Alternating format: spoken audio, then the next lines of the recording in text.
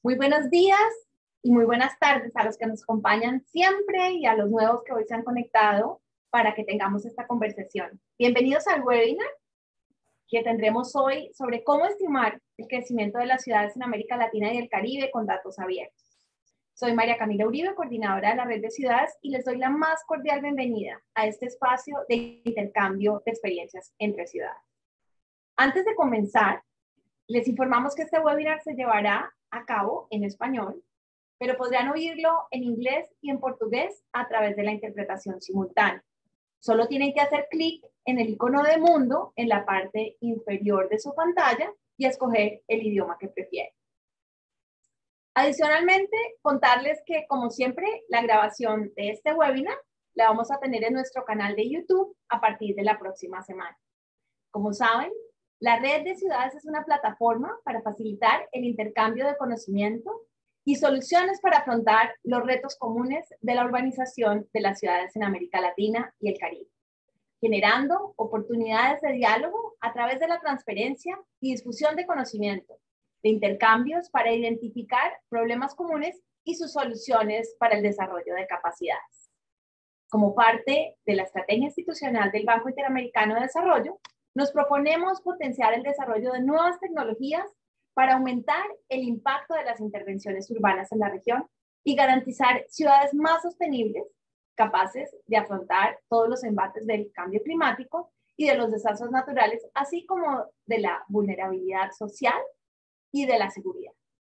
Es por ello que hoy continuaremos con la serie de Código Abierto iniciamos ya en mayo de este año, cuando hablamos sobre el aprovechamiento de datos urbanos para la gestión de ciudades y las herramientas digitales que tenemos para hacerlo realidad.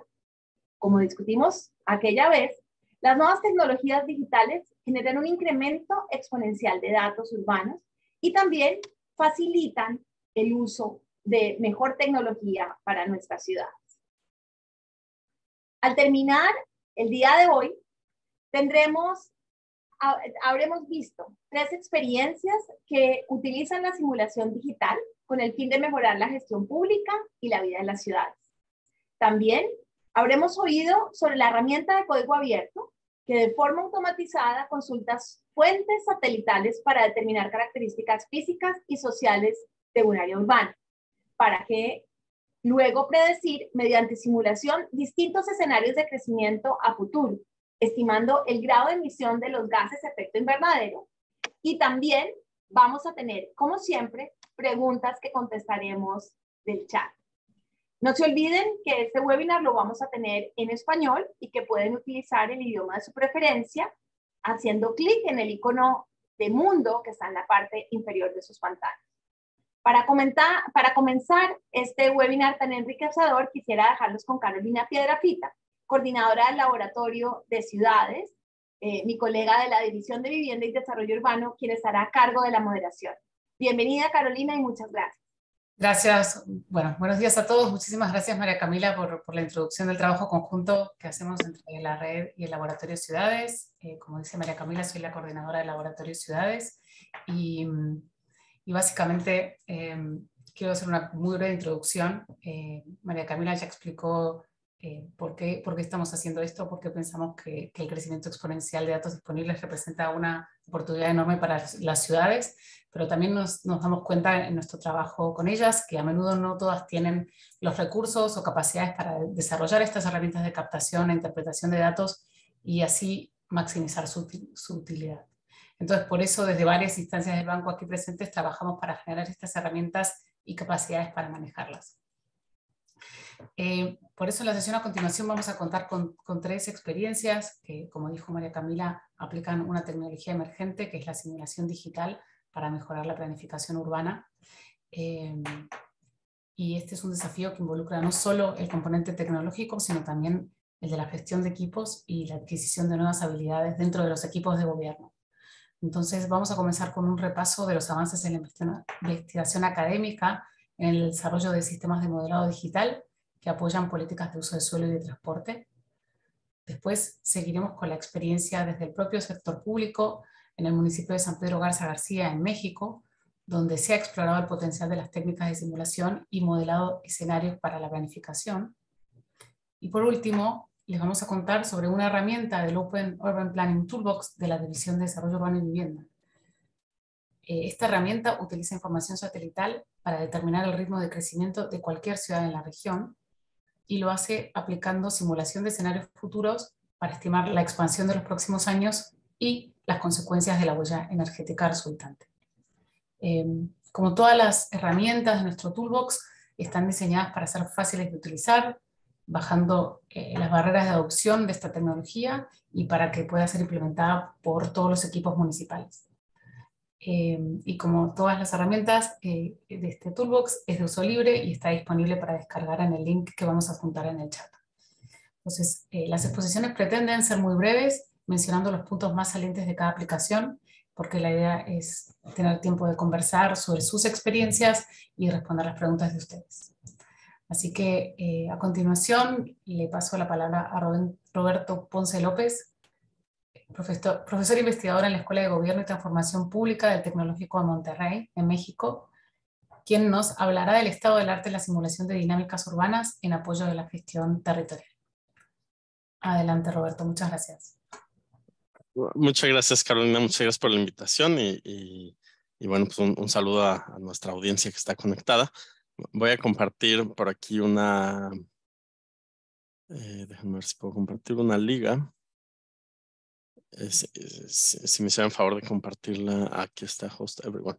Una liga que, que engloba el trabajo que hemos estado realizando es este sitio habilitado que es www.expansionurbana.mti.mx. Es un trabajo que venimos eh, llevando a cabo desde hace tres años prácticamente. Comenzamos a, a finales del 2019 y hace una investigación fondeada por, por la Fundación FEMSA. Entonces, eh, eh, una forma de hacer de notar este esfuerzo de utilizar simulaciones y modelaciones en el tema urbano es los gemelos digitales, ¿no? Entonces, los gemelos digitales es eh, pues una herramienta que no necesariamente comenzó en ciudades, o lo podemos trazar más bien a partir de dos tradiciones. Por un lado, venía mucho de industria y ahora con Industria 4.0 pues habla de, en lugar de tener una fábrica, este, bueno, tienes tu, tu fábrica en física, pero además tienes un gemelo digital, es decir, una especie de sandbox o caja de tierra en el cual puedes simular, ver cosas, este, que se entrenen los eh, operadores, obreros, ingenieros, ingenieras en, en, la fábrica y tengan como este espacio ¿no? de hacer pruebas y de aprendizaje. Eh, eso es en la parte de industria.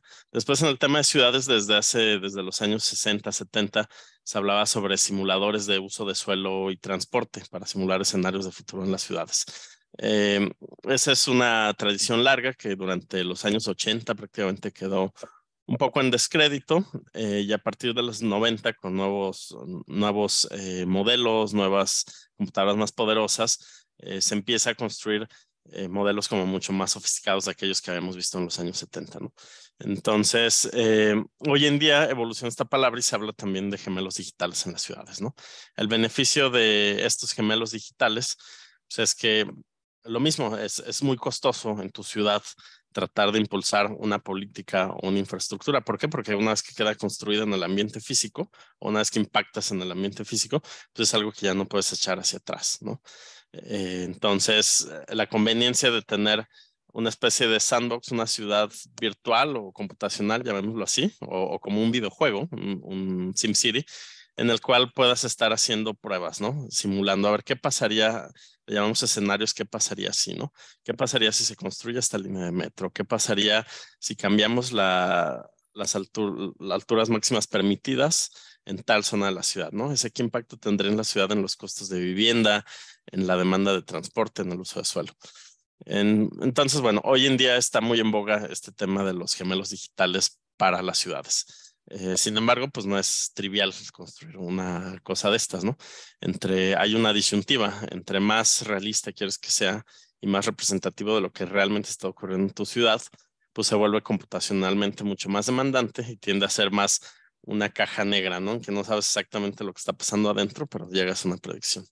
En el otro, en el otro extremo, un, modelo como más comunicable, más sencillo, eh, es, es, más comunicable, pero pues pierdes en, en esa representación como más realista, ¿no?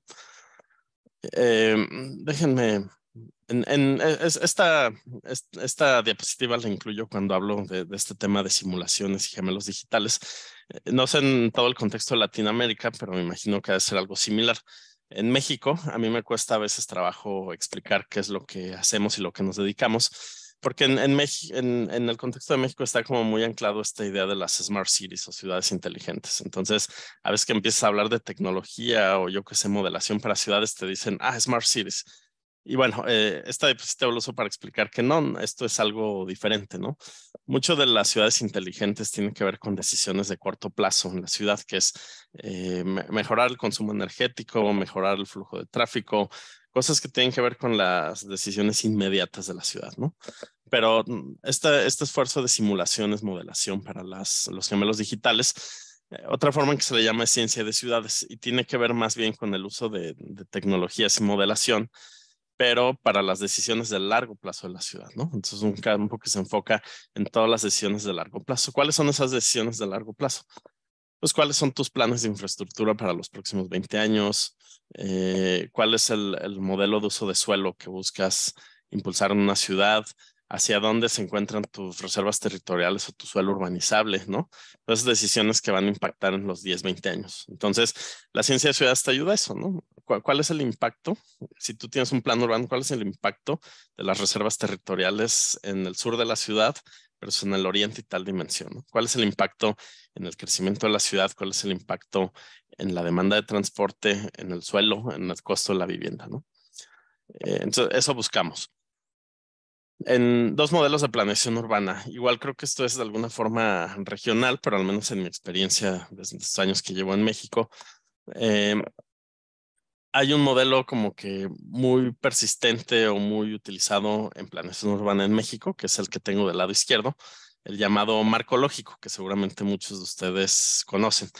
Eh, el marco lógico es, eh, bueno, un instrumento muy útil de gestión de proyectos territoriales y urbanos, que data más o menos de los años 70. En México, durante 50 años es el modelo que se ha ejercido. Eh, es un modelo útil. Yo, yo tengo mis críticas y diferencias. ¿Por qué? Porque van la calidad de ciudades que tenemos en México ¿no? o en la región por haber seguido este modelo.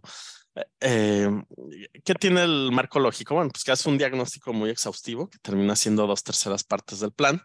Tratas de ahondar en cuáles son, cuál es el problema, sus causas, sus efectos, ¿no? El famoso árbol de causas, problemas, efectos, objetivos se hace un escenario tendencial, un escenario programático con el que buscas, eh, buscas llevar a cabo a través de tu plan urbano y finalmente defines las estrategias, programas e instrumentos que te llevas en ese plan, ¿no? Y al final tienes un proceso de participación que simplemente es como validatorio. Así se hacen los planes en México y la legislación así nos obliga a hacerlos, de hecho, ¿no? Eh, sin embargo, en, otras latitudes, por ejemplo en Estados Unidos, cada vez se vuelve más frecuente este modelo que tenemos del lado derecho, que es una planeación por escenarios, donde lo más importante del plan ya no es el diagnóstico, sino los escenarios. Entonces partes por una serie de escenarios de futuro y estos escenarios, este, bueno, haces un diagnóstico, pero un diagnóstico mucho más reducido, enfocado, más directo. Haces un proceso de participación desde el inicio para definir esos escenarios y haces un ejercicio iterativo con tus escenarios de, bueno, pero ¿qué pasaría si, ok, tengo este escenario de Smart Growth, pero ¿qué pasaría si quiero más áreas verdes, un cinturón verde alrededor, ¿no? ¿Cuál es el impacto en el costo de vivienda? Entonces, bueno, te ayuda mucho esos escenarios a, a balancear estas disyuntivas y, y, quien balancea estas disyuntivas pues, son entre tomadores de decisiones y ciudadanos. Y terminas con un plan como mucho más flexible que define instrumentos generales. Eso es del lado derecho, se utilizan muchas latitudes del mundo, pero al menos en México, no se hacen así los planes, ¿no? Se hacen con este modelo del lado izquierdo. Yo creo que eventualmente, o, lo que observamos alrededor de nos transitamos más hacia una planeación por escenarios. Es lo que, lo que viene ahora. Pero el tema es que cuando quieres definir escenarios, ¿cómo los simulas, no? ¿Cómo los caracterizas? Y para eso necesitas datos, necesitas algún esfuerzo, una aproximación cuantitativa a todo esto, ¿no? Eh, del sitio que les compartí, eh, mucho de esta caracterización que hemos venido realizando en los últimos tres años en Monterrey, pues es a partir de imágenes de satélite y de datos poblacionales cuantificar el crecimiento de Monterrey, ¿no? Entonces, es, Monterrey es una zona metropolitana en el norte de México, es la segunda zona metropolitana de, la, de México, tiene alrededor de 5.3, 5.4 millones de habitantes. Eh, es un hub industrial, el hub industrial del país. El tema es que en 30 años la población se duplicó, pero la extensión territorial creció tres veces, ¿no? Entonces nuestro consumo de tierra es mayor y la ciudad en 30 años perdió una densidad del 40%, ¿no? Entonces, este ha sido un esfuerzo de caracterización. Para eso se utilizan bueno, imágenes de satélite, una serie de modelos, ¿no? Pero también importa mucho el componente demográfico. Vean lo que está sucediendo en Monterrey.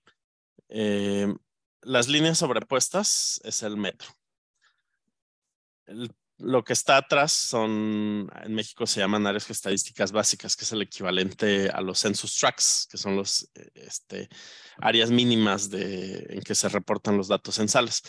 Todo lo que está en rojo ha perdido población, lo que está en azul ha ganado población. Entonces es la paradoja de que lo que está pasando en la ciudad se expande, pero realmente en todos los municipios centrales, los cuatro o cinco municipios históricos, pierdes población y es donde tienes tu mejor infraestructura de transporte. Y el crecimiento demográfico básicamente ocurre en la periferia urbana, ¿no? Y esto tiene que ver con un tema de costo de suelo. Entonces, esto es la parte como histórica, ¿no? De, de, crecimiento que ha pasado. Ahora vamos al futuro. ¿Qué nos gustaría ver aquí? Pues precisamente transitar una planeación por escenarios, ver, ok, ya, ya entendimos que este modelo no es el más viable. Hay que plantear una alternativa, ¿no? De modelo de crecimiento urbano. Ahorita, por ejemplo, en la ciudad se discute, bueno, ya se aprobó, se van a construir tres nuevas líneas de metro pero esa decisión se toma sin suficientes argumentos. No se sabe exactamente cuál va a ser el impacto que va a tener eso en, la parte urbana, ¿no? Hay una serie de, disyuntivas, de elementos, cuál es la mejor alternativa de crecimiento, hacia dónde debemos ir. Y aquí entran los, estos escenarios de qué pasaría así, ¿no?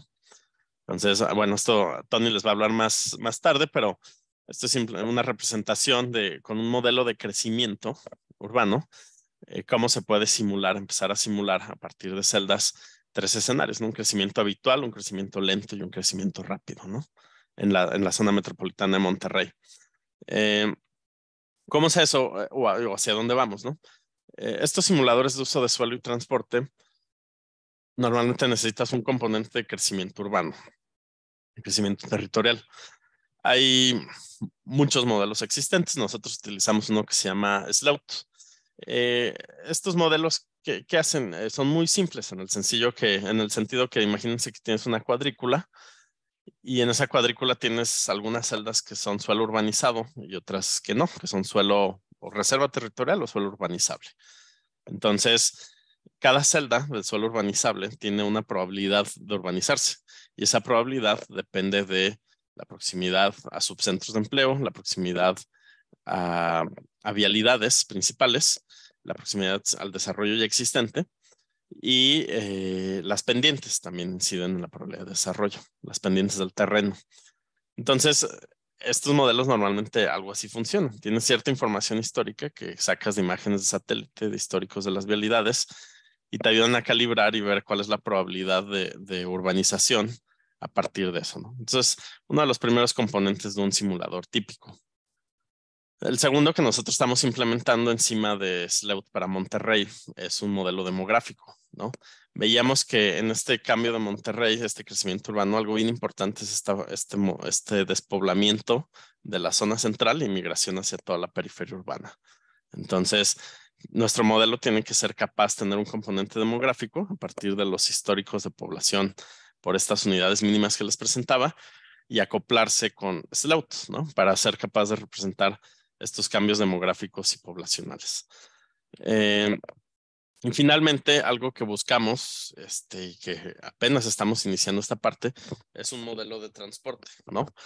Eh, ¿Por qué? Porque es muy importante estos tres componentes, porque dependen de eso, ¿no? Si tú abres una nueva vialidad, una nueva infraestructura, eso va a tener un impacto sobre el crecimiento urbano y sobre tu modelo demográfico.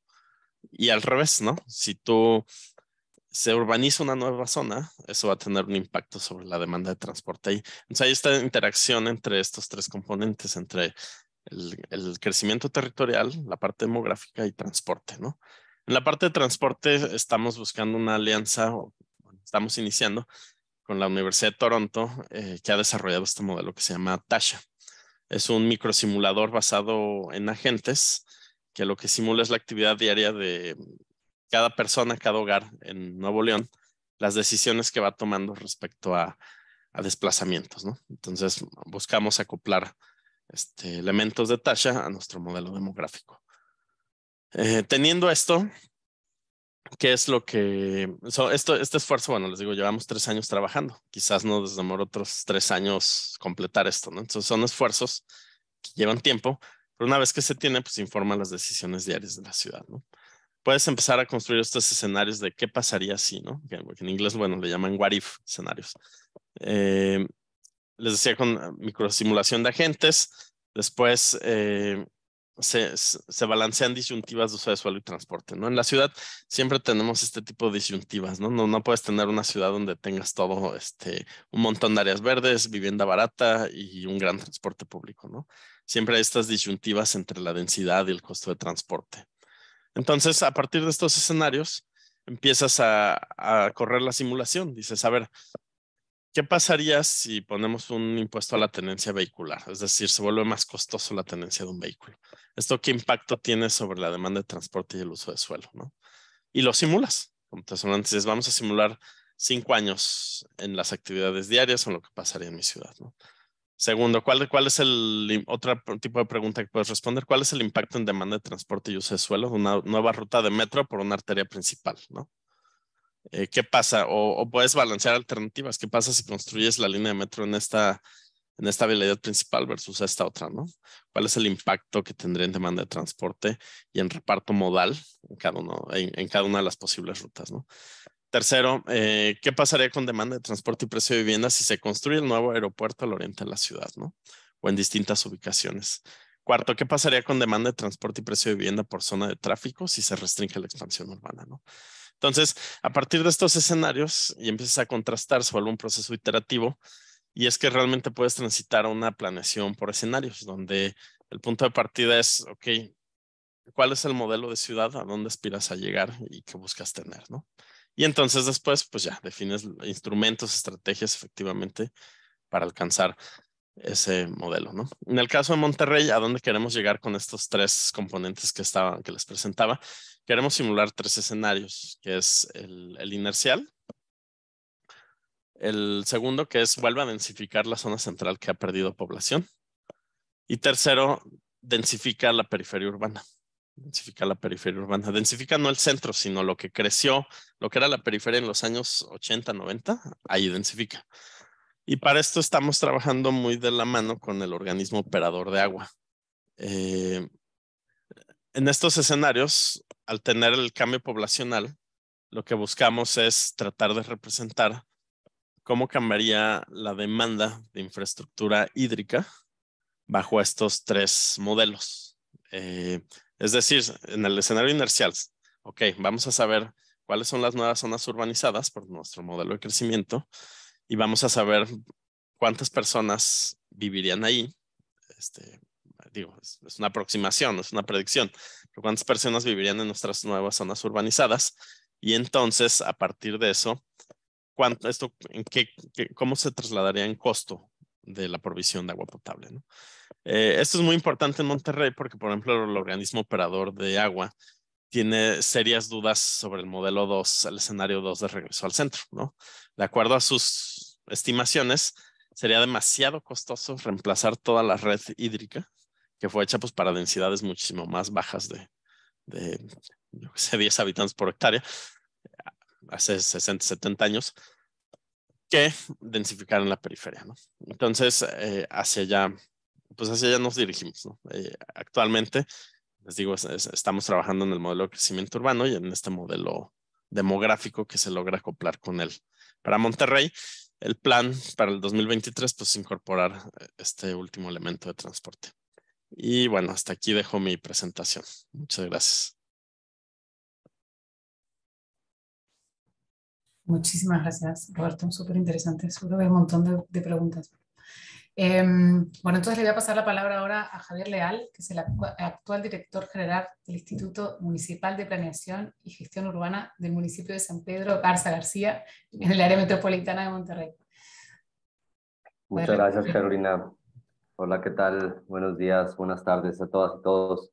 Este, muchas gracias por la invitación. Eh, para mí también es un, privilegio poder compartir este panel con Roberto, buen amigo y, y, aliado en, en esta pues, tarea de mejorar nuestra, nuestra ciudad de Monterrey.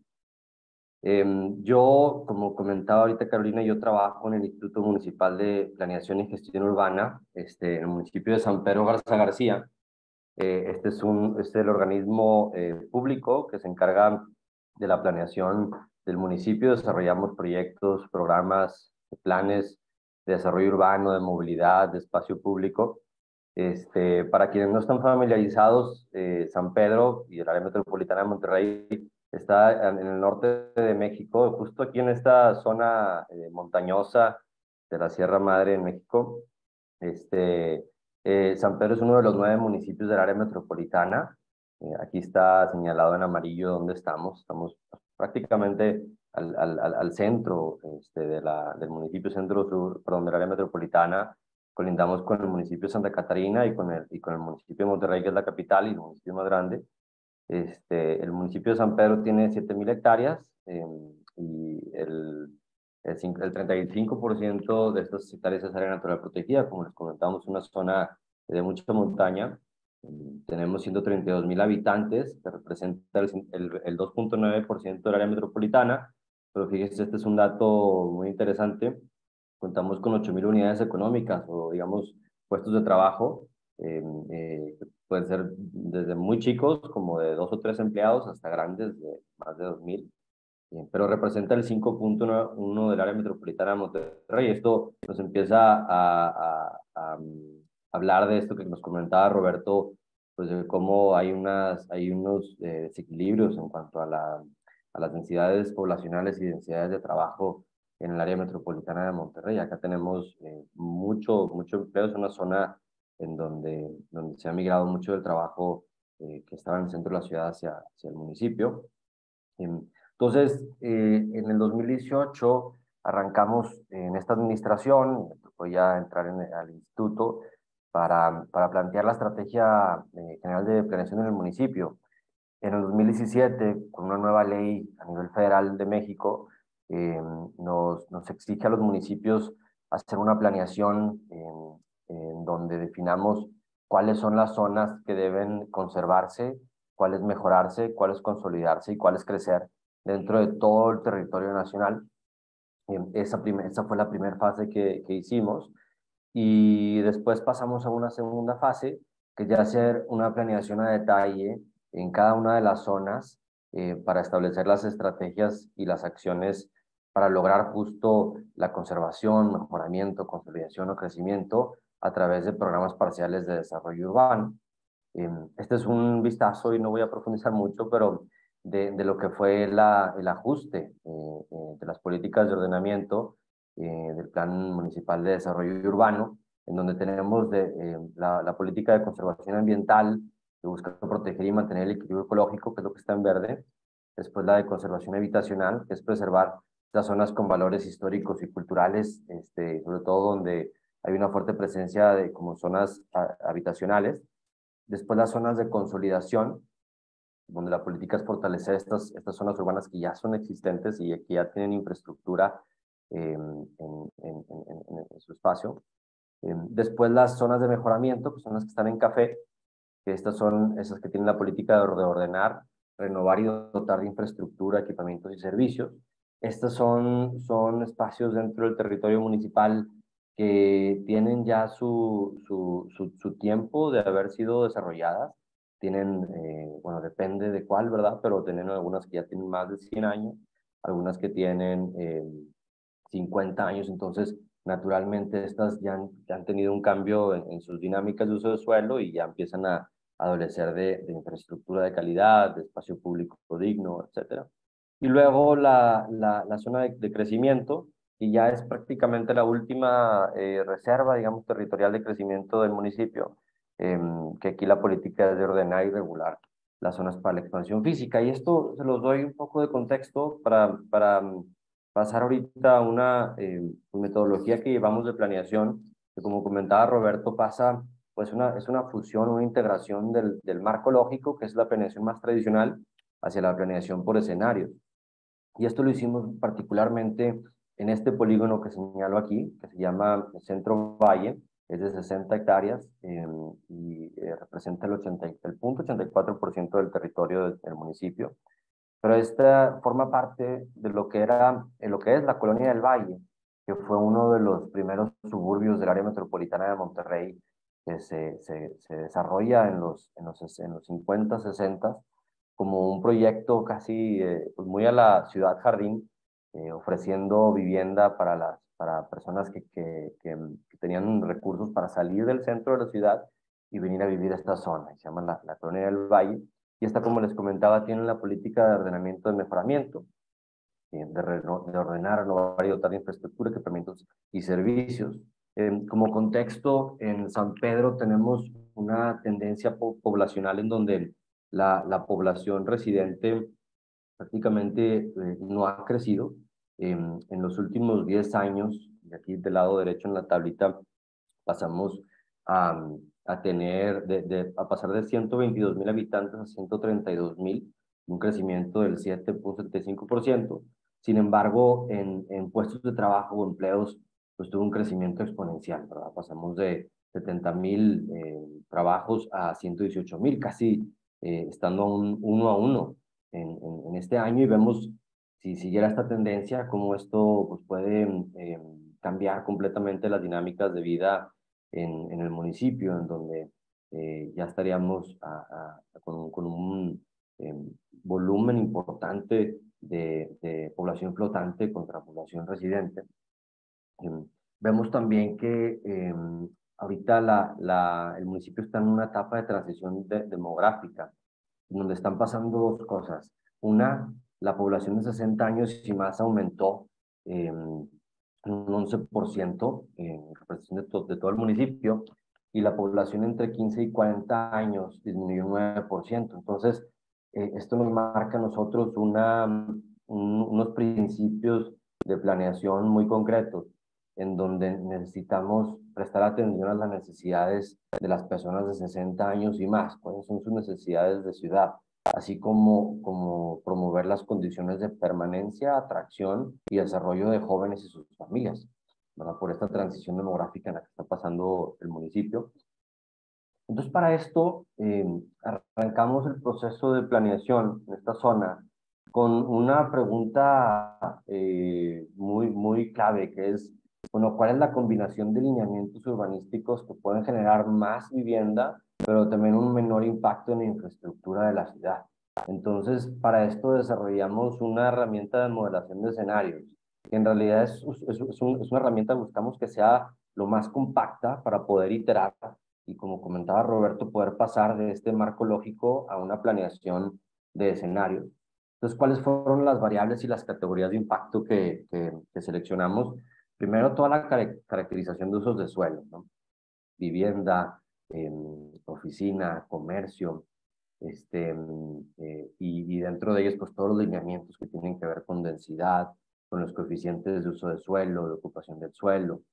Em, después, los impactos. ¿Cuál es el impacto en desarrollo urbano? O sea, finalmente, finalmente vemos con cuántas unidades y de qué em, programa o de qué uso terminamos teniendo cuál es el impacto de la movilidad urbana, que naturalmente por estas dinámicas donde tenemos una, una alta proporción de población flotante en el municipio, pues la, el, el, tráfico es uno de los síntomas que, que más padece la comunidad, eh, tanto la que vive en el municipio como la misma que viene a trabajar. Este, y esto no nada más sucede en el municipio de San Pedro, es algo eh, presente en toda la área metropolitana. Y viendo la, las imágenes que nos, nos enseñaba Roberto, pues nos empieza a dar esas pistas de por qué sucede esto. También el impacto al medio ambiente, tanto eh, calidad de aire como, como gases de efecto invernadero, em, eh, temas de absorción de agua, etc. Y el impacto en infraestructura pública, de forma muy concreta, eh, electricidad, drenaje sanitario, drenaje y, y, provisión de agua, de agua pluvial. Y para esto no me voy a ir a, todo el detalle, no leérselos, pero tenemos que partir de supuestos, ¿verdad? Para poder hacer este ejercicio. Y los supuestos van desde cuántas personas eh, viven en cada vivienda, cuál es la eficiencia en el diseño de los edificios, ¿verdad? ¿Qué, qué porcentaje de los edificios pues ya, ya, ya, ya es habitable, ¿no? O rentable. Eh, cuántos viajes se generan en hora pico por cada uno de los, de los distintos usos, cuál es la necesidad de cajones de estacionamiento según los, los normales internacionales, mm, cuáles son las emisiones de CO2 que generan, pues, eh, sobre todo partiendo más hacia, el, hacia las dinámicas ya del edificio construido, ¿verdad? Sobre todo por los viajes que se generan, más que por las emisiones de construir el edificio. Entonces es algo importante. Eh, ¿Cuál es el impacto en infraestructura pública? Eh, y aquí, aquí eh, tenemos datos pues, de consumo de otras áreas metropolitanas del país, como, como, el, como, el, como de Monterrey, y el consumo de energía eléctrica. Entonces, todos estos supuestos los metimos al, al, al procesito, a la herramienta. Em, estoy regresando, este es el, este es el polígono en el, que, en el que estamos trabajando, y fíjense, en los últimos cinco años, eh, en, esta zona en específico hubo un aumento del 62% de comercio y servicios y, y, una reducción del 22% de los usos habitacionales. Em, entonces, desarrollamos esta, esta herramienta en donde nosotros lo que hacemos es ponemos los, los tamaños del, del terreno, ¿verdad? Y puede ser, lo, lo, lo que nos gusta mucho de esta herramienta es que lo puedes usar a nivel predio, ¿verdad? Para entender lote por lote cuál es el impacto con distintos lineamientos, pero también a nivel polígono, ¿no?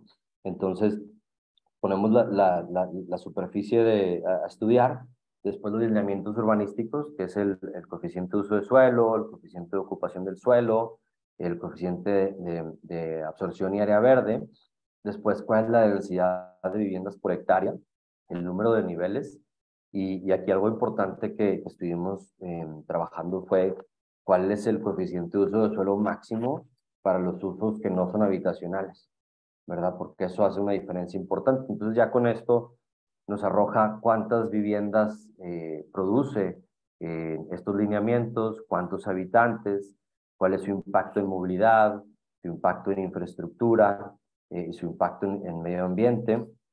Y en medio ambiente tenemos las emisiones de CO2 en toneladas por transporte en hora pico, y, la superficie de, de, área verde con, con, cada uno de los lineamientos. Y entonces desarrollamos eh, escenarios, ¿verdad? Entonces aquí nos fuimos, que algo importante, sobre todo ya en el, pues en el trabajo ya práctico de la planeación, pues es, es poder em, entender el problema, pero también comunicarlo, ¿verdad? Y aquí el problema que veíamos era que de continuar con la misma tendencia, esta zona se iba a quedar sin población y se iba a convertir en una zona eh, pues de, como, un, como, un, área comercial metropolitana, eh, y esto iba a generar todavía más impacto, sobre todo en tráfico, que es lo que más, lo que más le duele a la comunidad acá. Entonces veíamos que mantener los lineamientos actuales no era, no era una buena posibilidad, y esos eran los primeros eh, escenarios, en donde el escenario A es, es que se construía solamente comercio y servicios, el escenario B es comercio y servicios con un 20% de vivienda, y luego los, el resto de los escenarios, el C, E, F y G, van aumentando en cuanto, a la, en cuanto al potencial de desarrollo en, metros cuadrados de construcción y también en, en, en densidad habitacional. Y, y, estas pues son las, las, preguntas que nos generamos cuando empezamos a, explorar esto, ¿verdad? ¿Y qué escenario genera más vivienda? ¿Qué escenario genera menos viajes? ¿Qué escenario consume menos electricidad? Eh, esto nos permitió, pues, tanto internamente en el equipo de planeación, poder, poder hablar con números de cada uno de ellos, ¿verdad? Y no, y no con algunas eh, que pudieran ser entre suposiciones, ideas, sino bien concretamente con cada uno de ellos y en vivo estar eh, explorando esto, así como con, con el equipo político de, de, los regidores, con el alcalde, para poder presentar esto y con la comunidad, ¿no? Entonces, con lo que, con lo que terminamos, y esto es para, para cerrar el, el, el caso de estudio, ¿verdad? De esta herramienta, Em, hicimos esta, esta visualización para poder entender pues, cuáles son los dos escenarios, ¿no? Con el, con el, el, el, actual, es con, el, con el, alineamiento, con los lineamientos que, que eran vigentes, em, en un lote promedio de 566 metros cuadrados, fíjense aquí el caso es, oye, con, con estos lineamientos pueden haber cuatro oficinas de 100 metros cuadrados, cuatro locales comerciales de 100 metros cuadrados, cero viviendas y genera este impacto en, en tráfico y en emisiones de CO2. 34 viajes generados en hora pico promedio y 113 kilogramos de emisiones de CO2 en hora pico promedio. Y ahora, el, el, el ya la, la, propuesta, que fue producto de una, de una combinación de los escenarios que les enseñamos, es más, o sea, tiene más construcción, ¿verdad? Que son tres, tres oficinas de 100 metros cuadrados, cuatro, tres locales comerciales de 100 metros cuadrados y 14 viviendas de 74 metros cuadrados por medio. Y bueno, este, este volumen adicional de construcción, en donde para, para, para esta zona es sumamente importante eh, tener más vivienda, genera menos impacto en viajes y en emisiones. Son 25 viajes eh, generados en hora pico promedio, comparándolo con 34 con el, con el estado actual, y 85 kilogramos de emisiones de CO2 en hora pico promedio por estos mismos viajes. ¿no? Entonces, esto es bien importante, nos permitió a través de los escenarios poder llegar a un punto en donde generamos más vivienda, pero menos impacto en movilidad y en emisiones por el mismo, por el mismo transporte. ¿no? Entonces, para, para cerrar el, el, el, documento ya completo del, de este programa parcial de desarrollo urbano, pues va hacia incentivar el desarrollo de vivienda, aumentando la densidad de vivienda, el coeficiente de uso de suelo y edificios de escala humana de 4 a 6 pisos, eh, regenerar las calles y las banquetas con lineamientos de plantas bajas activas, calles completas, reforestación y retiro de cables y postes, y por último, renovar la infraestructura subterránea, que este fue uno de los mecanismos muy innovadores que pusimos en este plan, eh, en donde, donde, dado que es una zona de mejoramiento, requiere de, de, tener nueva infraestructura, sobre todo de drenaje sanitario y provisión de agua, eh, integramos un mecanismo de aportación optativa, en donde este, en donde este coeficiente de uso de suelo adicional y densidad habitacional adicional es, es, es, un, es algo que el propietario o el desarrollador puede adquirir a cambio de aportar para mitigar ese impacto, es, esa necesidad de esa infraestructura, y para eso está creando un fideicomiso que, que absorba este recurso y que, lo, que, y que sea el encargado de hacer estas inversiones y, y, tener una regeneración completa de esta, de esta zona. ¿no? Y bueno, para esto, eh, hace, hace unas semanas, eh, en de septiembre, ya el Cabildo aprobó por unanimidad este plan. Eh, entonces, para nosotros, creemos que fue fundamental trabajar a través de esta metodología de planeación por escenarios para poder entender exactamente cuáles son los lineamientos que nos llevan hacia eso que necesitamos y poder comunicarlo de una forma abierta, transparente y con datos a, a, a la comunidad. ¿no?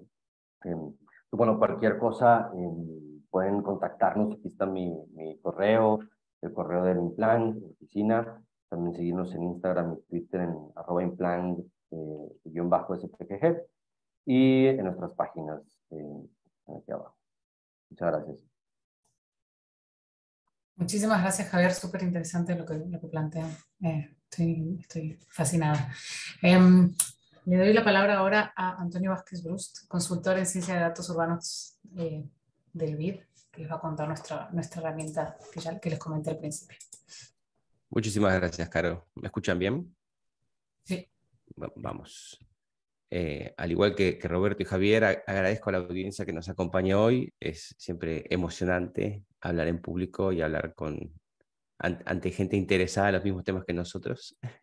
y a mí me toca hablar desde la División de Desarrollo Urbano y Vivienda del BID de una iniciativa que tenemos que consiste en impulsar el desarrollo de herramientas eh, basadas en código abierto, herramientas libres, pensadas para que cualquiera pueda descargar e implementar, orientadas a apoyar la planificación urbana a, y, y con, poniendo bastante esfuerzo en que sean fáciles de usar, en bajar las barreras de adopción para que eh, ejercicios de análisis de datos, ejercicios de aprovechamiento de Big Data, ejercicios de aplicación de Machine Learning y, y técnicas por el estilo, que solemos hacer en, en la División de Desarrollo Urbano, en, en partnership con, con ciudades de Latinoamérica y el Caribe, se pueda trasladar a equipos municipales que no necesariamente están súper especializados, pero si logramos hacer las herramientas un poquito más fáciles de usar y un poquito más fáciles de instalar, podemos hacer que esta tecnología se democratice más y ayudar a subirse, a participar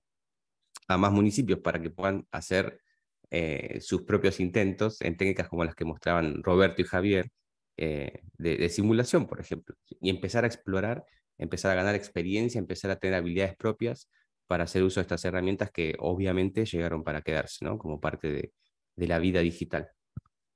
Dentro de, las experiencias que ya hemos realizado, del software que ya hemos lanzado desde el BID, eh, hemos agrupado las herramientas para planificación bajo la bandera de, una caja de herramientas abiertas para planificación urbana, o Open Urban Planning Toolbox en inglés, y, ya tenemos software publicado em, de forma libre para hacer, por ejemplo, detección de crecimiento, de detección de nuevos lotes edificados en imagen satelital de ciudades, eh, una herramienta para extraer datos georreferenciados de cualquier ciudad del mundo para poder mapearla, con la posición de sus em, vías de comunicación, hospitales, infraestructura de transporte, etcétera, etcétera. Otras herramientas que sirven para complementar datos de censo, por ejemplo, estimando con nivel eh, con cierta granularidad geoespacial, eh, indicadores de déficit de vivienda, muy útil sobre todo para países y ciudades donde no, no existen censos recientes, y otras herramientas. Pero hoy nos toca hablar de una que estamos desarrollando, y aquí es bueno tener la presencia de, de, Roberto porque él está liderando justamente el equipo del TEC, que está aplicando toda la sabiduría que él mostró en la primera exposición de hoy y lo que han aprendido sobre cómo aplicar eh, modelado y simulación para dar soporte a la planificación urbana, eh, este equipo del TEC está desarrollando con nosotros, em, implementando una, herramienta que sea fácil de usar, que permita hacer eso mismo para cualquier ciudad de Latinoamérica del Caribe. O sea, modelar el crecimiento urbano establecer o determinar cuál es la tendencia de las últimas décadas de crecimiento de la, mancha urbana de la ciudad que nos interese y poder hacer predicciones a futuro. Escenarios. Un escenario que sería qué pasa si no hacemos nada y dejamos y la tendencia continúa. En general ahí podemos dar un spoiler alert. Si no hacemos nada y dejamos que la tendencia de, crecimiento de nuestras ciudades continúe como está, vamos a terminar con ciudades ingobernables. Probablemente extremadamente extendidas en el territorio y con un consumo energético muy difícil de sostener. Pero también podemos simular escenarios de qué pasaría si logramos aplicar un crecimiento densificado, eh, smart, entre comillas, que, aplique todo lo, que hoy consideramos recomendable hacer para, para desarrollar las ciudades, o un escenario intermedio, realista, si se quiere, alcanzable, de qué pasaría si logramos que nuestras ciudades implementen, aunque sea las, las más elementales y más recomendables de las políticas de densificación de habitacional. Em, y esta, esta evaluación de diferentes escenarios viene acompañada con la idea de poder estimar cuál va a ser la huella urbana, cuál va a ser la huella energética de esta ciudad potencial que estamos, eh, estamos estimando en cuanto a, a, su consumo de energía y a su emisión de gases de efecto invernadero. Y la herramienta en sí está pensada para ser usada luego como, como eje para poder hacer talleres de trabajo donde se, se congregue, como suele, suele hacerse desde la División de Desarrollo Urbano y Vivienda, se congregue a, responsables de sectores clave en la planificación urbana o en el desarrollo de una ciudad, ¿sí? sus, áreas de economía, de desarrollo social, eh, de urbanismo, de transporte, y juntar esas cabezas para pensar estos escenarios y para pensar cómo se pueden implementar medidas que tiendan a lograr el escenario óptimo deseado.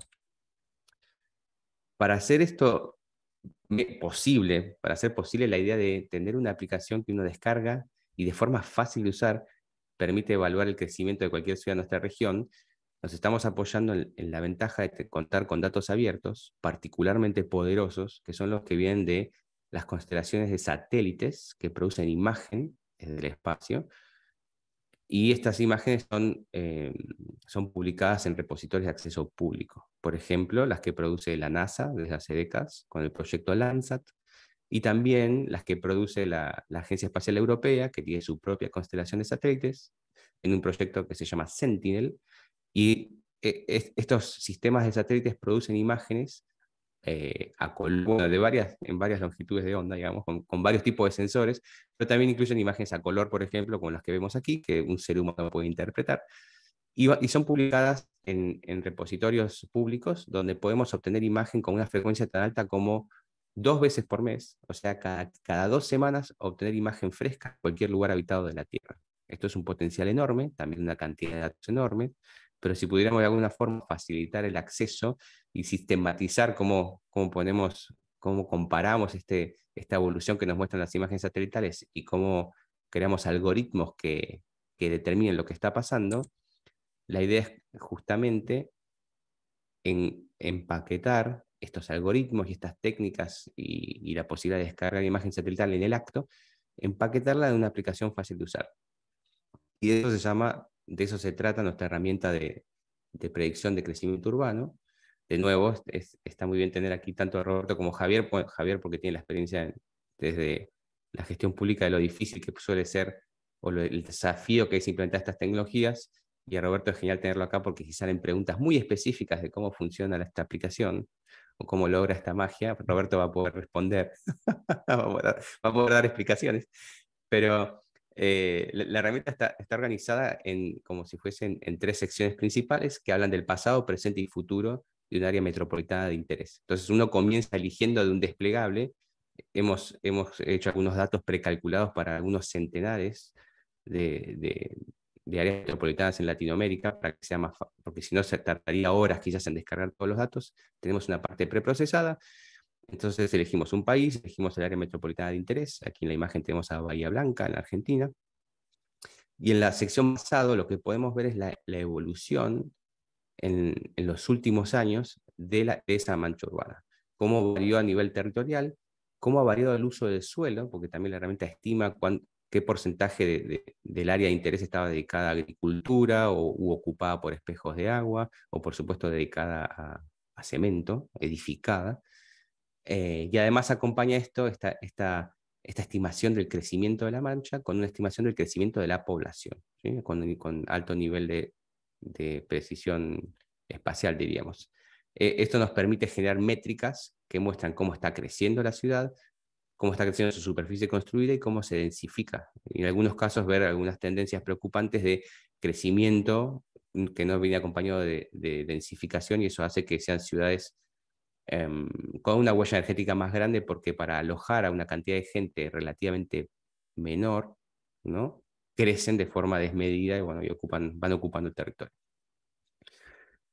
La, siguiente sección, que es la de presente, eh, digamos que corona los estimados de crecimiento y, la, tendencia que, se evalúa en la, sección de pasado, con una que permite una visualización de la extensión actual de la mancha urbana y también da una imagen siempre estimada en imagen satelital, pero da una imagen, con, como pueden ver aquí, con, con bastante resolución espacial que clasifica los usos del suelo. Pues, entonces, de nuevo, para evaluar la situación hoy de nuestra, área, de nuestra área metropolitana, cuánto está dedicado o cuánto está ocupado por vegetación, por urbanización, por cursos de agua o por cultivos y así. Y además podemos también tener un estimado a hoy eh, de la población, dónde, dónde, vive la gente y cuánta hay. En base a esto, también estamos usando información que se produce con institutos de estadística local de cada país, pero además aumentada por algunos proyectos, como uno que se llama World Population y otro se llama Facebook, Facebook High Resolution Density Maps, un proyecto de la empresa que utiliza Machine Learning para estimar la cantidad de población que hay en cada punto de la Tierra a hoy. ¿sí? De nuevo, muy útil para, tomar, para tener algún, alguna data fresca de, en ciudades que están en países donde hace muchos años no hay un censo, no hay un censo nuevo. ¿sí? Eso pasa mucho en nuestros países de, la región. El, el, periodo entre censos idealmente es de 10 años, que ya es un montón, y a veces por vaivenes político-económicos, nuestros países no logran siquiera tener un censo nuevo cada 10 años y puede ocurrir que han pasado 12, 13, 14 años desde la última vez que hubo un conteo oficial de población. Entonces, esta herramienta lo que hace es aprovechar nuevas fuentes de datos para descargar en el momento estimados precisos de población actualizados de forma reciente. Y, aquí vamos a pasar a la parte de, estimación de escenarios de simulación. esta, esta pantalla la agregué ahora, así súbitamente, porque cuando escuché que Roberto mencionaba Sleuth, que es la metodología elegida para, para hacer simulaciones y estimar cómo va a crecer una ciudad, es todo un desafío. Y quería simplemente aclarar que Sleuth es una sigla simpática en inglés, porque creo que significa como una pesquisa, una investigación. Pero Sleuth es la combinación de, vamos a, o sea, significa en resumidas cuentas, vamos a crear un algoritmo que va a predecir dónde va a crecer la ciudad, dónde va a extender en base a ponerle como ingredientes para el cálculo slope, que vendría a ser el, declive, como la inclinación que tiene el, terreno, que eso interfiere en cuándo en se puede construir y cuándo no, el, uso del suelo, la tendencia de uso del suelo de la región, áreas excluidas, ¿sí? pues se pueden demarcar áreas para que la simulación no intente o, considere que ahí no va a crecer la ciudad, puede ser un área protegida, por ejemplo, un bosque virgen o algo así.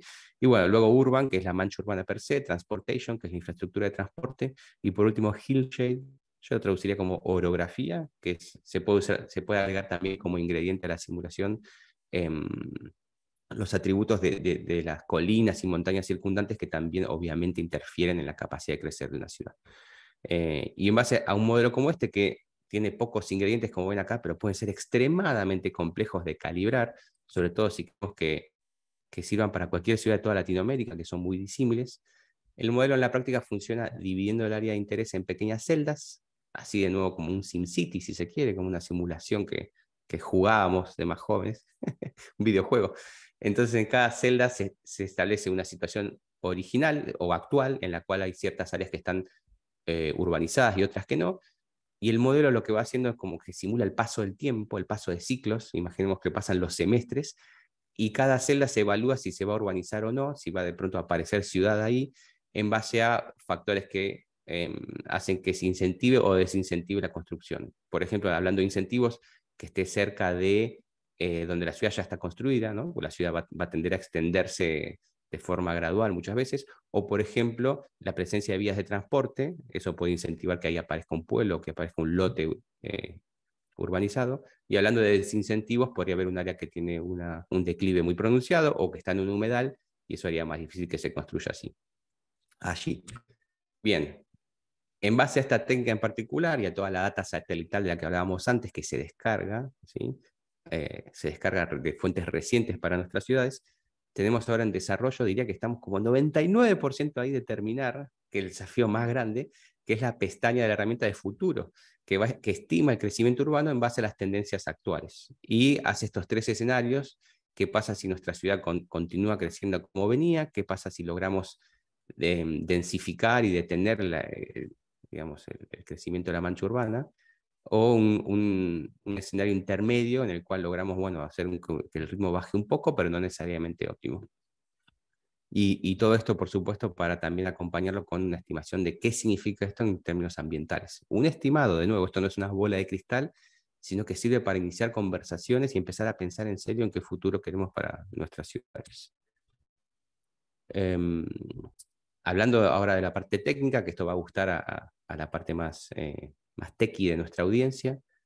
Eh, la herramienta está construida principalmente en Python, librerías de visualización de un lenguaje open source, aunque tiene también algunos condimentos en otros lenguajes de programación, pero eso no es problema de quien use la herramienta porque ha sido empaquetada con una tecnología habitual que se llama Docker, que lo que permite es crear una especie de, de computadora preinstalada con todo configurado, todo instalado, y, uno lo único que necesita es descargar este container, en la jerga de, computación se habla de container, que significaría un sistema totalmente preconfigurado, encenderlo, y es como si apareciera una pequeña computadora virtual dentro, dentro de nuestra computadora, con todo ya configurado y listo para usar, ¿no? para cliquear y elegir la ciudad que nos interesa y empezar a explorarla.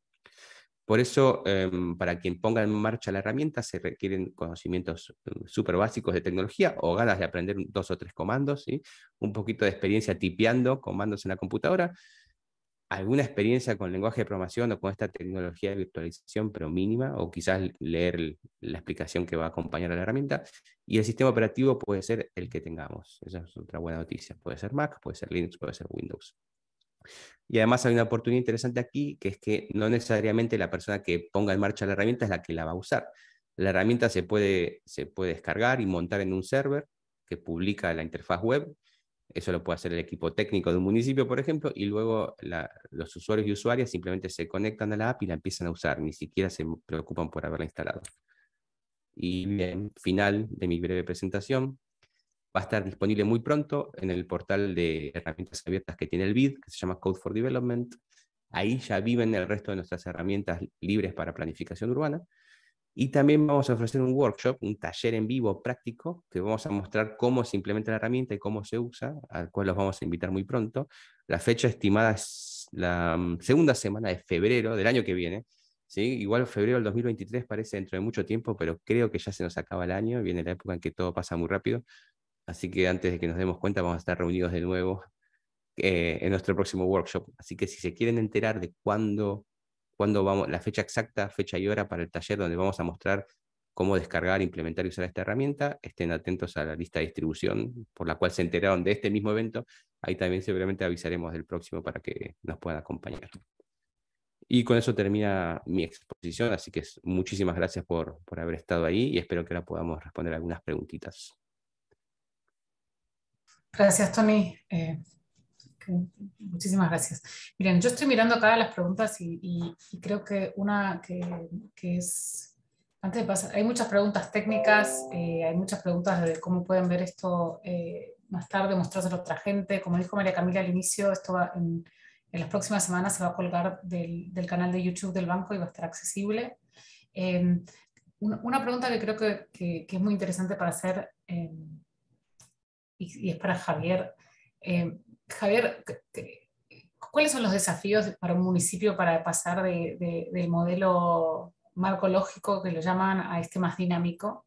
Eh, en particular hay una pregunta de alguien de Mexicali que dice que ellos han estado trabajando un modelo de simulación, eh, con el, que desarrollamos el plan estratégico Mexicali Ciudad Gran Visión, hicimos escenarios What If. El problema fue el internalizar en la administración local debido a que es de largo plazo. ¿Cuál es la estrategia para dar seguimiento de planes locales de largo plazo en el, municipio de San Pedro Garza García? Ah, es, una, es una gran pregunta. Este, de hecho, sí la, la leí, me llamó mucho la atención. Eh, me da mucho gusto ver que Mexicali, bueno, Mexicali siempre ha hecho eh, cosas en donde los demás municipios hemos aprendido mucho.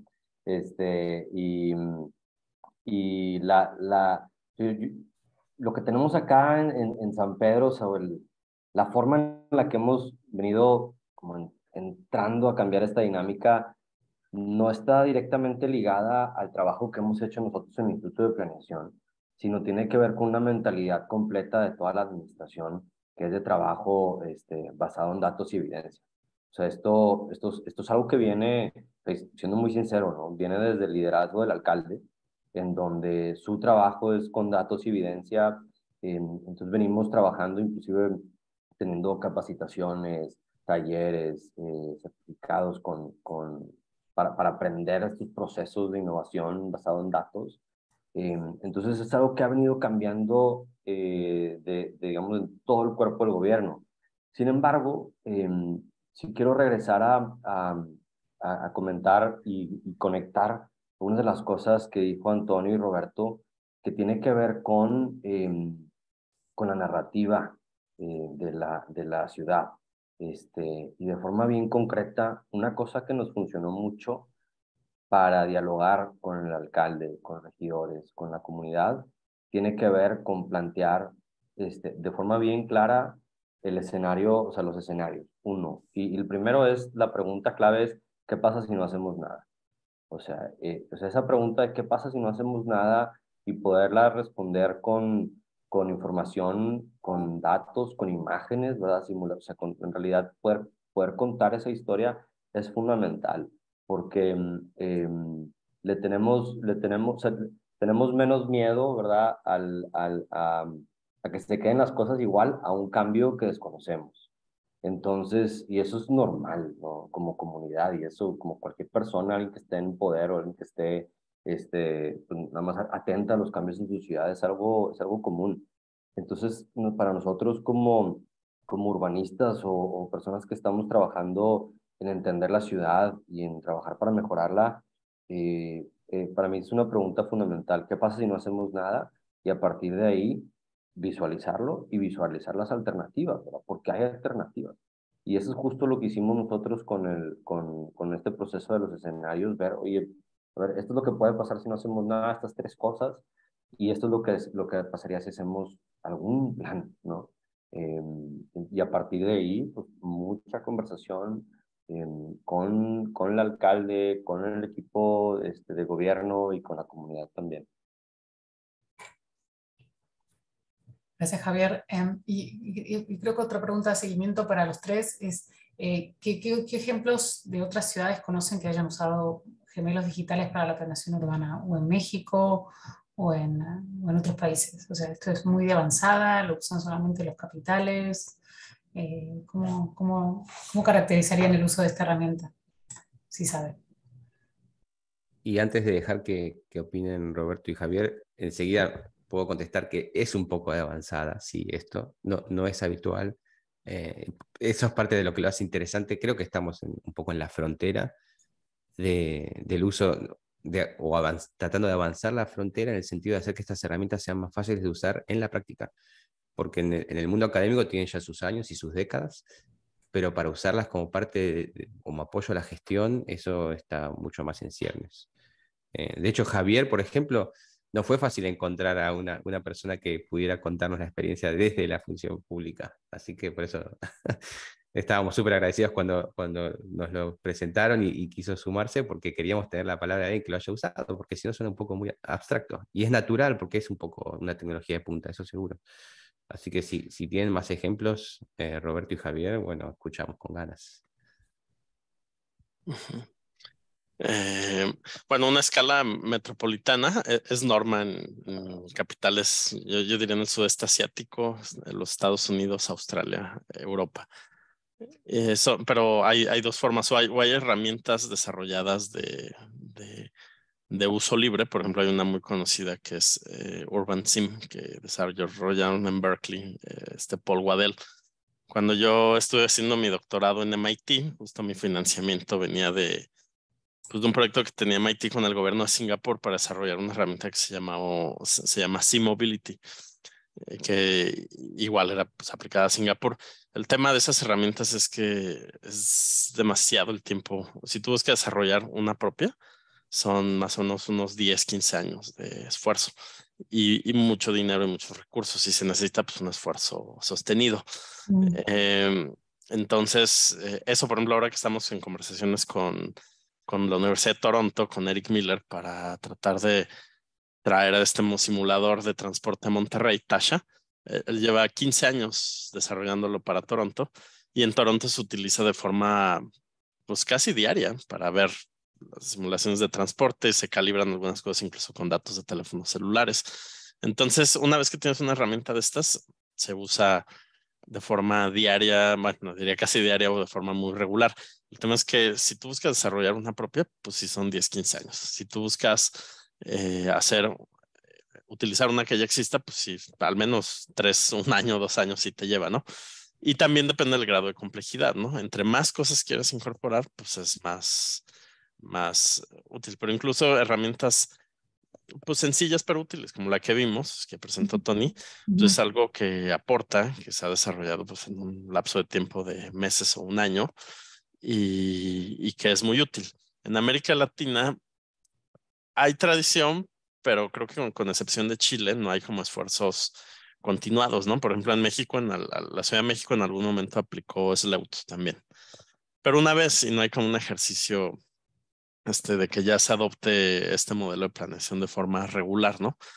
Eh, en América Latina, hasta donde yo sé, pues Santiago de Chile sí tiene un esfuerzo como ya de largo plazo. Varios de los, uno de los modeladores de este tipo de herramientas más conocido en el mundo es este Chenique, que era investigador en la Universidad de Northwestern en Oxford o Cambridge, creo que en Cambridge, es de origen chileno y, y, este, ¿cómo se llama? Chile tenía esta herramienta que se llama Musa, ¿no? Modelador de uso de suelo, muy, utilizada, muy buena, ¿no? Entonces, eso, antes Venezuela, Caracas también tenía una tradición más hacia transporte, ¿no? Este, eh, hay una herramienta muy conocida que simula usos de suelo y transporte, desarrollada en los años 80. No es tan moderna como estas nuevas de agentes, era un modelo de equilibrio general que se llama Tranus, ¿no? Y también por ahí se sigue utilizando Tranus en varias regiones. Pero en mi experiencia, con excepción de Santiago de Chile, este, sí hay algunos esfuerzos, pero como que de repente surge una administración y se pierde, ¿no? Gracias, Roberto. quiero compartir que la, la hay un, eh, la ciudad de Portland, este, en Estados Unidos, también tiene un, un caso muy bueno en donde, eh, y, y, ya tiene algo de tiempo, en donde a través de un proceso muy participativo eh, pusieron a consulta distintos escenarios de crecimiento de la ciudad y poniendo bien claro el, o sea, el business as usual, ¿verdad? ¿Qué pasa si no, hace nada, si no, si no se hace nada?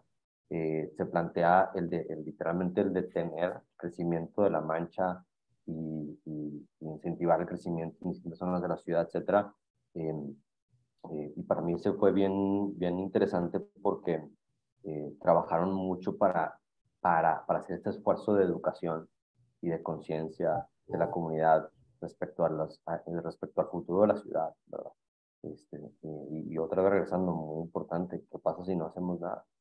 Entonces, eh, para mí eso es un, una ciudad que bueno, lleva tiempo haciéndolo eh, de forma muy, eh, eh, con, aprovechando mucho los, los, datos y la evidencia en su planeación, donde podemos ver buenos casos. Sí, a mí me parece muy interesante también que, que, es un proceso de planificación que está súper ligado a los costos, tanto ambientales como, como financieros, ¿no? Para, para la ciudad, que, que, en general no es algo cuando alguien te presenta un plan urbano, te dicen por acá vamos a crecer, por acá vamos a ir, y no, no está tan macheado el tema de cuánto le va a costar a la ciudad y todos los, los, eh, los trade-offs que hay que hacer para, para, para, que sea óptimo a varios niveles, ¿no? Eh, o sea, yo lo que entiendo por lo que están diciendo es que hay mucho espacio para crecer, eh, que, que, sobre todo hay que empezar a mostrarlo y probarlo y que las ciudades lo puedan, eh, las ciudades latinoamericanas se animen a usar esta herramienta.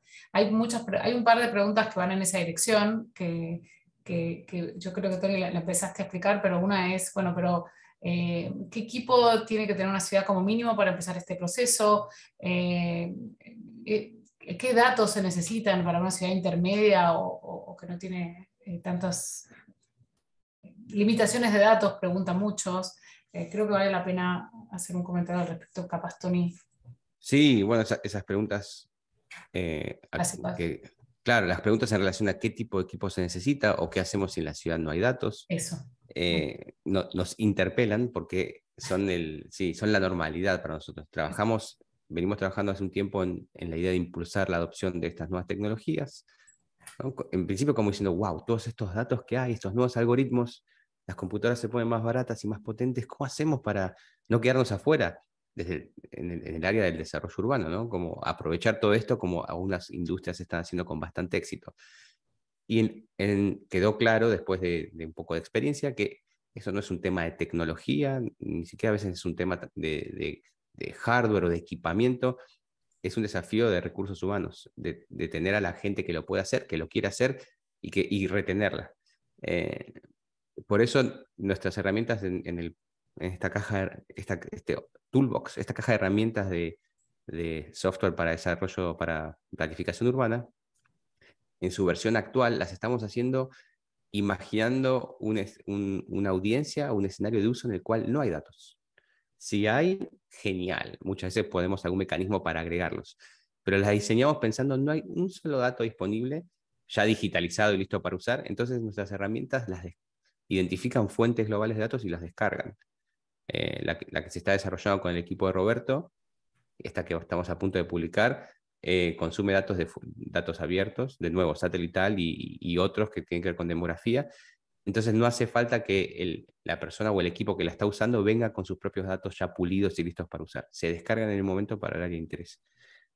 Y acá esto lo puedo enlazar con, vi, vi un comentario que me pareció muy pertinente aquí en, este, en el marco de este webinar de la audiencia, donde decían que estas tecnologías no necesariamente son para ciudades, entre comillas, de avanzada o capitales, que los pequeños municipios pueden implementarlos si tienen un equipo motivado. Y estoy completamente de acuerdo de eso. Quizás cuando yo hablé que estos son temas de avanzada, parecía que quería entender que son para supuestas ciudades de avanzada, pero no, no me refería a eso. Digo que el tema puede parecer de avanzada porque no está muy extendido, pero por supuesto que una ciudad pequeña podría ser ejemplo en, en la aplicación de estas herramientas. A veces justamente un municipio más pequeño es más ágil y, y, existe la posibilidad de que un equipo muy motivado o una intendente con mucha motivación eh, comience estas experiencias. Así que la herramienta que estamos desarrollando, que hoy presentamos, está pensada para ser usada prácticamente por cualquiera. Quizás necesita alguien que ayude al equipo o que sea parte del equipo, que, se dé maña, como decimos en Argentina, con lo técnico, que no le preocupe mucho descargar un paquete de código y ejecutar dos o tres comandos en la computadora para que se encienda, pero una vez que está encendido se maneja con el mouse. Está pensado para un público que, que, sepa, que sepa, digamos, de, ciudades y de gestión y, de, y de interpretar estos resultados y estos escenarios, pero no que sepa de tecnología, esa no es la parte más importante aquí. Tony, y línea con eso, alguien pregunta si, cómo es de código abierto, si se permiten ingresar actualizaciones, y otra persona pregunta si se pueden agregar datos locales, o sea, ¿cómo? Sí, sí, sí, siendo de código abierto y va a estar publicado todo, toda la estructura interna, la lógica y los archivos que lo componen. Número uno, hacer modificaciones va a ser sin ningún problema. en el sentido que cualquiera que tenga la capacidad de jugar con este código y cambiarlo para sus necesidades lo puede hacer sin pedirle permiso a nadie. La pregunta siguiente sería, ¿qué pasa si alguien agrega funcionalidad, mejora, pule algo y quiere compartirlos? O sea, sería llevarlo corriente arriba. Lo que, el cambio que se hizo por una institución o individuo, devolverlo al código principal para que esté disponible para todo el mundo. Eso se va a poder hacer también. En, nuestra, práctica, en nuestra práctica no ocurre tanto, porque no, no existe tanta masa crítica de desarrolladores expertos que lo hagan en su tiempo libre y nos lo, nos lo compartan. Pero si esto ocurriera, por supuesto que lo fomentamos y el código va a estar en, un repositorio de GitHub, que es una tecnología habitual que permite aceptar contribuciones e integrarlas con el código con bastante facilidad. Así que la respuesta es sí a todo. Sí a que se puede modificar y extender y sí a que estamos dispuestos y tenemos los mecanismos para aceptar contribuciones y, mejorarlo así de forma colaborativa. Gracias. Em, hay, algunas preguntas con referencia al cambio climático. Eh, a mí me surge la, pregunta si, estos escenarios incorporan eh, mapas de vulnerabilidad climática y en su propuesta de crecimiento futuro, eh, o sea, si, incorporan evitar, evitar localizaciones ahí, digamos.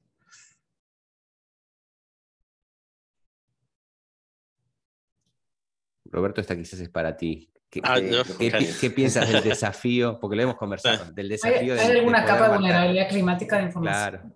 Claro. Sería, voy a dar un poco de eh, contexto a cómo estoy interpretando yo esta idea. Sería en base al conocimiento local y entender que un área, por ejemplo, costanera o, que esté en, una pendiente donde hay lavajes o donde, donde sube la marea o donde fuere, poder identificar estas áreas y marcarlas para decirle a la simulación, aquí no crezcas este mm, tipo de cuestiones hemos estado conversando con Roberto, así que por eso decía que me parece claro. para ti.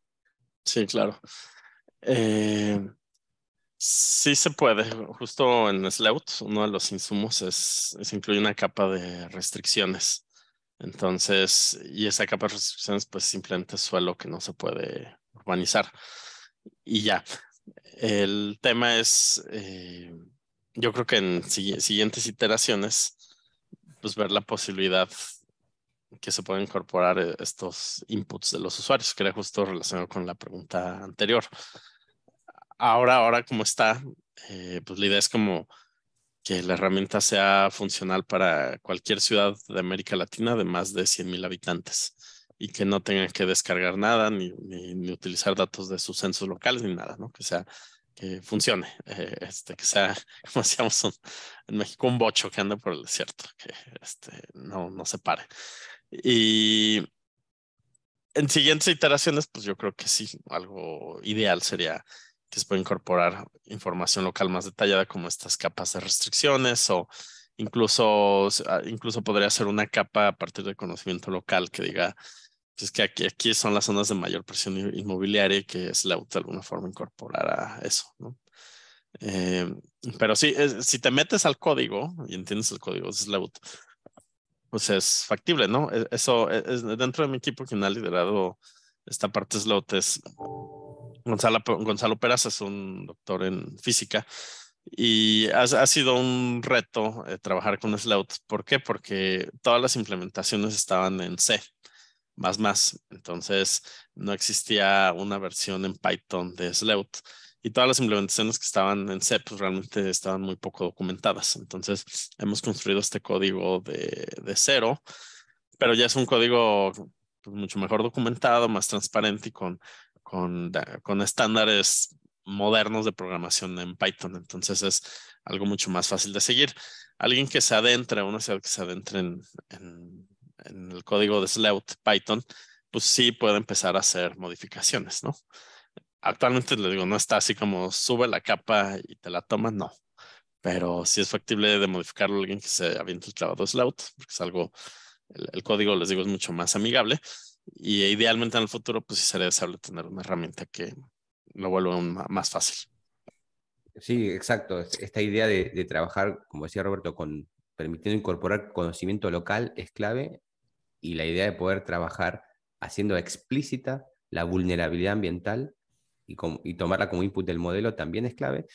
Y por eso estas dos cuestiones son algo que nos gustaría para la próxima versión. O sea, lo tenemos como en categoría 1 de, nuevas funcionalidades a agregar a, la herramienta. Hoy la herramienta permite incorporar esto, pero con una persona que entre al código y lo modifique, tiene que saber. No está, no está hecho el esfuerzo que es considerable de que haya una especie de ventanita que uno cliquea y sube su propio shapefile y y el programa lo toma. O sea, el desarrollo de software toma tanto tiempo, tanto tiempo, em, pero sí es una funcionalidad en la que si, en la próxima ronda de, esfuerzo que, que, volquemos para continuar mejorando esta herramienta, creo que está en, categoría 1 de funcionalidad deseada, poder trabajar con conocimiento local barra señalar áreas de vulnerabilidad ambiental para que se tengan en cuenta. Em, Carolina, me gustaría comentar, porque por aquí estaba leyendo este, unas preguntas y lo que comentaba Pedro Miranda acerca de la planeación de edificaciones sostenibles. En, en, en, el caso de, de, San Pedro, esto que les presenté fue sobre los lineamientos urbanísticos en cuanto a densidad habitacional, altura de edificios, cuestión de construcción, eh, que no integra las características de los edificios. Sin embargo, eh, la siguiente capa de planeación es el reglamento de construcción. Y ahí es donde estamos incorporando eh, políticas para que los edificios sean más sostenibles. Eh, y digo, hay, un reto, digo, me estoy saliendo un poco del, del tema, pero para contestarle, el reto desde la política pública, sobre todo en, en, América Latina, es cómo balanceas pues, la zanahoria y el garrote, ¿verdad? O sea, ¿dónde están esos lineamientos que son eh, un, requisito, una exigencia para un edificio este, que, que sea sostenible, eh, pero que no, que, que no termine eh, encareciendo muchísimo el producto y por ende hacer vivienda o servicios inaccesibles.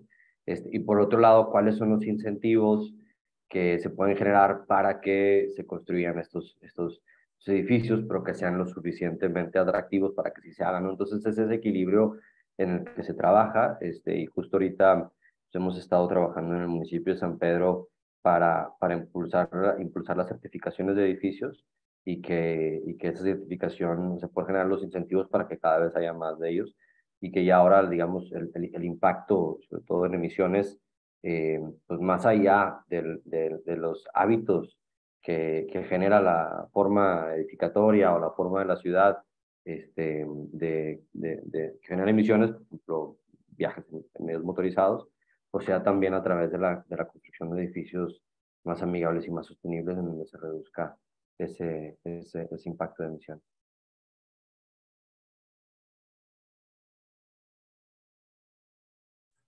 Gracias, Javier. No sé si Roberto o Tony tienen alguna pregunta que hayan visto que quieran responder eh, adicional. Eh, y si no, yo sí, hay varias interesantes. Para, para elegir una, alguien preguntaba cómo se incorpora la dinámica de la población en Sleuth, o, la experiencia vivida, entiendo. La respuesta es que no sé, no, em, o sea, Sleuth es un modelo de juguete, es muy, es como, es muy simple. Es, es como alguien, alguien comentó que había implementado un modelo de crecimiento con autómatas celulares. Es un nombre que recibió una tecnología que estuvo de moda en su momento, después pasó, pero que habla de la complejidad emergente, de cómo con un modelo con piecitas muy simples, casi de juguete, esto iban los autómatas celulares, uno puede generar modelos que evolucionan con el tiempo y que demuestran una complejidad notable. empiezan a emerger patrones, tendencias y cosas así. Y en algún momento creo que en el mundo científico estuvo la esperanza de que, de que estos primeros hallazgos de autómatas celulares, que eran como simulaciones muy simples que resultaban en, en, escenarios muy complejos, permitía vislumbrar que íbamos a poder eh, simular cualquier, cualquier dinámica, por compleja que fuere, como por ejemplo la vida en las ciudades. Acá también tengo que dejarle la palabra a Roberto, que es, es experto en esto, pero creo que hoy hemos encontrado como las limitaciones de la simulación. No, obviamente no podemos predecir como, cual bola de cristal cómo van a crecer las ciudades, como modelos como Sleuth. Hay un montón de cosas que no incorporan por su simplicidad, justamente por diseño, como por ejemplo nada menos que la experiencia vivida de las personas, o sus ilusiones o sus deseos, que son clave. Pero bueno, nuestra simulación va por, es simplemente, por eso lo resaltaba, sirve como para empezar a pensar, para mostrar escenarios, para jugar un poco, pero no es la realidad, es solamente un modelo, una simplificación. Como dijo también un gran experto en estadística, todos los modelos están equivocados, pero algunos son útiles. y, a, eso vamos. Sí, exacto. Slout efectivamente nada más te da el nuevo suelo urbanizado. Eh, en el caso de Monterrey, con lo que hemos venido haciendo, pues se volvió evidente que si queremos algo más real, pues necesitamos meter esta dinámica poblacional, ¿no? Y para los escenarios, el tipo de escenarios que, quedamos, que queremos eh, predecir o simular. Entonces empezamos a trabajar con un experto en demografía, llevamos apenas uno o dos meses en esto, y los dos modelos van a funcionar de forma independiente, digamos, va a haber eh, Sleut y, luego el modelo demográfico es independiente de Slout, pero buscamos que se acople en cierta medida a él. Y lo que queremos es que el modelo demográfico nos haga una predicción de cuánta población habría con base en la historia en una JEP, que digo, en una celda que se vuelve nuevo suelo urbanizado, ¿no? Entonces, eh, pues es trabajo en curso, todavía no, no lo tenemos resuelto, es parte de lo que estamos tratando de incorporar. Pero son modelos independientes, pues, que, tienen un cierto grado de acoplamiento. Y bueno, quién sabe si a medida que pasen los años, estos, estos modelos empiecen a acoplarse, ¿no? Como los más esquemáticos de, de, autómatas celulares o Sleuth, con algunos más sofisticados de demografía, pero bueno, todo, todo pendiente por hacer, por suerte, así no nos vamos a aburrir. Y una pregunta más que vi que se puede responder rápido porque era bien técnica. Alguien preguntaba si con las imágenes eh, disponibles al público de satélites, de Landsat o de Sentinel, se puede llegar a nivel de detalle de manzana. Y la respuesta lamentablemente es no. La resolución, en el mejor de los casos, es de unos 100 metros cuadrados por píxel, o sea que una manzana estaría representada por un puntito de un solo color. O sea, mucho no se puede hacer. por eso, como decía Roberto, hemos encontrado que estas modelizaciones apoyadas en imagen satelital funcionan para ciudades de 100.000 habitantes en adelante, una, una, cantidad considerable, pero esto es para que la mancha urbana en cuestión tenga la el suficiente tamaño como para poder quedar registrada en, el satélite. Eh, no sirve para pueblos más pequeños este tipo de herramienta. Sí serviría imagen de proveedores comerciales que permiten, que venden imagen de satélite de mucha más alta definición, pero la realidad es, y esto creo que lo hemos comprobado al hacer algunos intentos de acercarnos a los proveedores de, estas imágenes, que su principal audiencia son em, el ejército, el ejército de los Estados Unidos, o sea, eh, agencias de seguridad nacionales y no, no se molestan en, responder a, a, otros usos. Me parece que eh, por ahora esta imagen, como en las películas, vieron que uno se ve como un centro de control donde alguien hace zoom en una imagen desde el satélite y puede ver una personita o un automóvil por ahora siguen del lado de la ciencia ficción en el sentido de poder adquirir estas imágenes con facilidad. Dicho esto, contar con eh, datos de acceso libre que permitan eh, trabajar con ciudades de 100.000 habitantes y más no es poca cosa. Eso es algo que también era ciencia ficción hace 10, 20 años y hoy ya se puede, ya estamos ahí. Eh, pero bueno, quizás en el futuro sí se pueda trabajar con imágenes públicas de satélite que, que permitan trabajar a nivel de manzana, eso no se, no se descarta. Hoy, para un municipio que necesita trabajar con imagen aérea a nivel de manzana, creo que la vía más simple es usar imágenes de drones. ¿sí? Alquilar o contratar un servicio que los hay, que viene la cuadrilla con el dron, lo hace, despegar, lo hace volar por el barrio de interés, saca fotos desde arriba y queda muy bonita la imagen de alta resolución. eh, y es como contratar un servicio, digamos, para una ciudad sería equivalente a contratar cualquier otro servicio de prospección o relevamiento, y creo que más barato y más rápido que lograr que un proveedor internacional de imágenes satelitales les levante el teléfono, eso es más difícil. Em, gracias, Tony. Bueno, gracias a todos. Ya toca ir cerrando. Eh, empiezo por agradecer a Roberto, Javier y Antonio por, sus presentaciones y sus respuestas. Eh, muchísimas gracias a nuestra audiencia. Tenemos 314 participantes eh, que se quedaron todo el tiempo. Gracias por estar interesados en nuestras herramientas y esperemos que las usen. Nos encantaría. gracias a María Camila por, por presentar el rango de iniciativas que tenemos desde la red de ciudades y el laboratorio. Em, yo personalmente rescato el increíble dinamismo que, que, esta herramienta le da a la planificación territorial nos saca de, solamente tener una foto cada cierto determinado tiempo a, poder jugar con impactos ambientales y costos de manera inmediata. Si bien entendemos que todo es, que es una moderación y como decía Tony, esto no es la realidad, creo que ofrece una oportunidad fascinante para, para poder pensar cuáles son los costos y beneficios de políticas públicas mejorar su diseño y, también me encantó el ejemplo de Javier que, que, incluso pudo facilitar la distribución de cargas con privados en, esa, en ese plan parcial que están haciendo en San Pedro Garza. Em, creo que todos estamos de acuerdo en que hay que promover la, la, importancia del uso de estas herramientas entre los alcaldes y los líderes de, de las ciudades. Eh, hay que perder el miedo de que no si no hay datos no se puede hacer nada y precisamente eso es lo que estamos trabajando con Antonio y su equipo, que en diseñar una herramienta sencilla, tal vez básica, pero, pero bajando, bajando los tiempos de adaptación de, de, que, de, todos estos eh, algoritmos que, que, nos pueden ayudar en nuestras ciudades. Eh, también perder el miedo que no se necesitan grandes equipamientos o personas en el municipio para llevar esto adelante. Eh, y, y, bueno, esto es una pregunta que hacen todos para quienes estén interesados en esta herramienta de simulación de expansión urbana específica, que como decimos con Tony, tenemos que encontrar un nombre, eh, que es un poco, eh, poco sexy, em, tenemos planeado un taller didáctico sobre su uso de dos horas de duración, que va a estar dirigido a técnicos municipales o de agencias de planificación que quieran entender en mayor profundidad cómo funciona la herramienta y cómo aplicarla en sus ciudades.